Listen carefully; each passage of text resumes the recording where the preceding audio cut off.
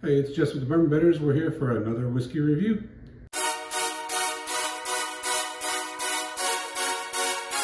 Earphones a little bit. Hey, freak, pay me a masterpiece. Yeah. Today we are going to review Traveller blend number 40.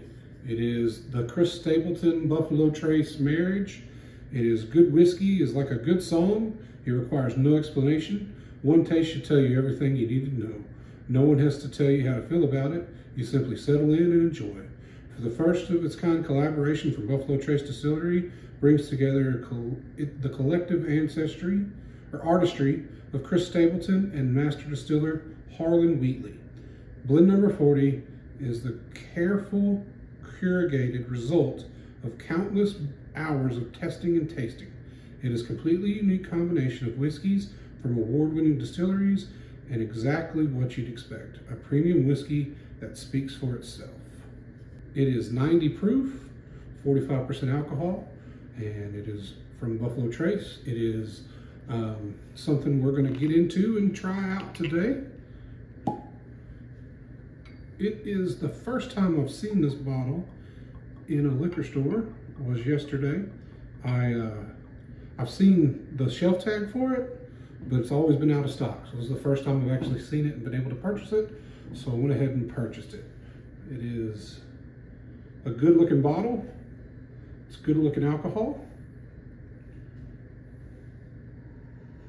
It was, I think it was $30, might have been 32 or 33. Uh, it wasn't crazy expensive or anything like that. It's just well sought out. Like people seek out this bottle. This was hard to get when it first came out because everybody was buying them up, but it's not super expensive or anything um, yet. We'll see how that goes.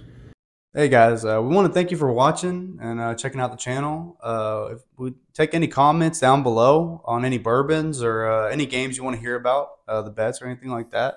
And uh, Jessica. Yeah, don't forget to like, subscribe, hit that bell for notifications. And once again, we just want to thank you for watching. So let's get into it. Start off with the nose on it. Vanilla, for sure. Vanilla. Maybe some caramel, but it vanilla forward for sure rounded out with some caramel and maybe a touch of oak uh, is definitely what I'm getting there. Yeah, definitely a touch of oak. There's something else there. I smell like a like a cherry maybe, like a sour cherry. Um, not medicinal cherry, but like a like sour cherries you put in like old fashioned, like sour cherries.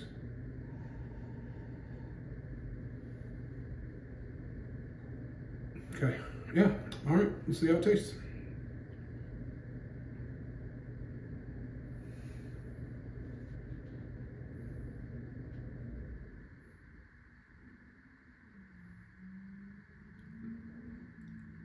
Wow.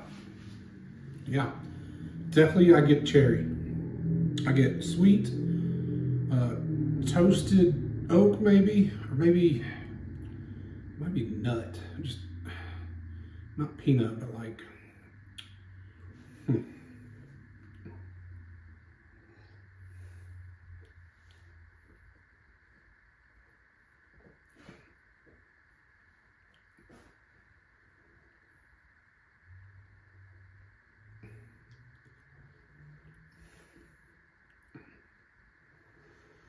Hmm. Sweet.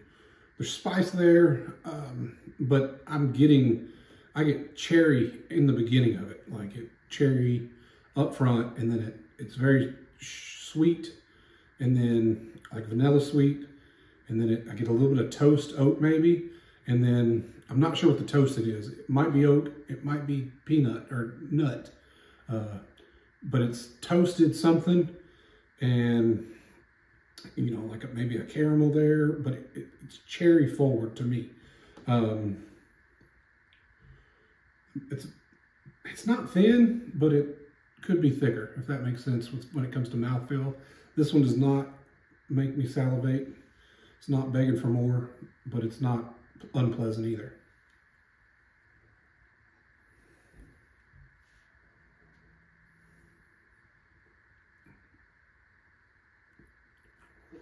Got a nice finish. Like it's medium finished. It's it's, it's but it's a full finish. Um, it's not overly spicy. It's not overly sweet. It's hey, this drink is done. You know, um, when it comes to nose, uh, I enjoyed that nose. I'm to give it an eight. Um, and then you go to mouthfeel. Said, it wasn't unpleasant, but it wasn't anything spectacular about it. So we'll go five on mouthfeel. Taste to me, I'm going to give it an eight because I enjoyed the cherry forward of it with the henna oakiness, but the very sweet, very sweet underlying and in the toasted toastiness you get of it. So I'm going to give the taste an eight, and the finish is, I mean, it's just an average finish to me. It's full, but it's it's not very interesting. It doesn't take you on an adventure. It just kind of says boom, um, but it takes a minute to get to the boom. So probably the the finish I'd probably give a seven. Um, but I was I was glad to try this bottle out. Uh, I've been looking for it, and I've been looking forward to it. It's just another thing from Buffalo Trace that they put out, and they're always putting out quality whiskey. Um, this is definitely, to me, one of the celebrity whiskeys that's worth the, the buy. You know, I, I enjoy Longbranch. I, I, do enjoy this as well. It's that's actually pretty good. I can add that into the rotation. And at thirty-five dollars, it's not going to break the bank. It's something you could use for a daily sipper. Um, you, you wouldn't be upset mixing it with something, um, and you wouldn't be upset showing it to your friends because it's it is a very sought out bottle because it is uh, you know, a Chris Stapleton Buffalo Trace marriage. So anyway, just for the bourbon betters, y'all have a good one.